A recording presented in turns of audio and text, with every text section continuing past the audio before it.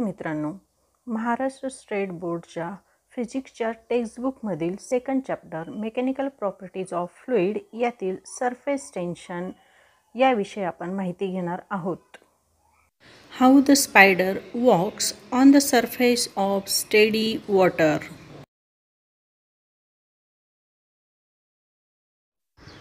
The soap bubbles and water droplets always form spherical shape.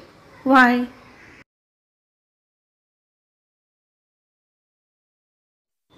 The grease needle floats on the steady surface of water. How? These phenomena arise due to surface tension and surface tension is one of the important property of liquid. Then what is mean by surface tension?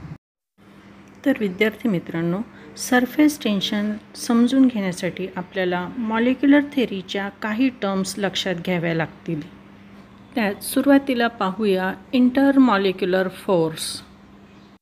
Matter is made up of molecules solid असू द्या liquid असू द्या किंवा gases असू द्या.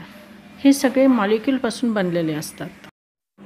Any two molecules attract to each other then the force between them is known as intermolecular force intermolecular force हे दोन प्रकारचे असणार आहेत. First cohesive force and second adhesive force cohesive फोर्सला force of cohesion असंही म्हटलं जातं. अडेजिव्ह फोर्सला फोर्स ऑफ अडेजन असेही म्हटले जाते. The force of attraction between the molecules of the same substance is called cohesive force consider the two molecules of water then the force of attraction between them is the cohesive force. Cohesive force is strongest in solid and that is why solid have definite shape. The force of attraction between the molecules of the different substance is called adhesive force. आता समजा एक water molecule असेल आणि दुसरा ग्लासचा molecule असेल तर त्यावेळेस त्यांच्यातला फोर्स ऑफ अट्रॅक्शन जो असणार आहे तो अडेझिव्ह फोर्स असणार आहे. Range of molecular force the maximum distance from a molecule up to which the molecular force is effective is called range of molecular force आता समजा आपण हा एक मॉलिक्यूल घेतला आहे. तो सॉलिडचा असेल लिक्विडचा असेल किंवा गॅसेसचा असेल हा मॉलिक्यूल त्याच्या नेबरिंग मॉलिक्यूलवर इंटरमॉलिक्युलर फोर्स एक्झर्ड करेल.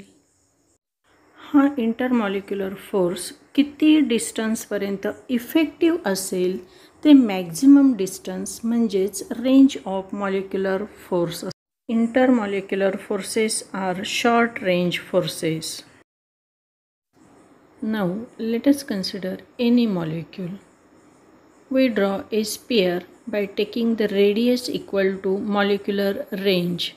Then this sphere is known as sphere of influence. The intermolecular force is effective only within the sphere of influence. चला आता आपण सरफेस फिल्म म्हणजे काय ते पाहू कंटेनर कन्सिडर करणार. त्याच्यात आपण लिक्विड लिक्विड म्हणजे समजा वॉटर घेतलं असेल त्या वॉटरचा वरचा लेयर म्हणजे आता आपल्या फिगरमध्ये एक्स वाय आणि एक्स डॅश वाय डॅश हा जो आपण लेअर दाखवला आहे की जिथपर्यंत range of molecular intermolecular force effective असेल असा जो लेअर त्याला सरफेस फिल्म असे म्हटले जाते. म्हणजेच थोडक्यात सरफेस लेअरची थिकनेस ही इंटरमॉलिक्युलर फोर्सच्या रेंज एवढी असणार आहे. आणि आता सगळ्यात शेवटची term free surface of a liquid आता हा फ्री सरफेस म्हणजे आपण बघा ग्लासमध्ये पाणी घेतो तर पाणी घेतल्यानंतर पाण्याचा वरचा लेअर की जो एअरच्या कॉन्टॅक्टमध्ये असेल असा जो लेअर असणार आहे त्याला free surface of a liquid असे म्हटले जाते. आता आपल्या फिगरमध्ये एक्स वाय हा लिक्विडचा फ्री सरफेस असणार आहे. This surface does not experience any shear stress चला तर विद्यार्थी मित्रांनो आता एवढं तुम्ही लक्षात घेणार. मग नंतर तुम्हाला behaviour of liquid at their surfaces हे एक्सप्लेनेशन समजणे सोपे जाईल. तर पुन्हा भेटूया पुढच्या लेक्चरला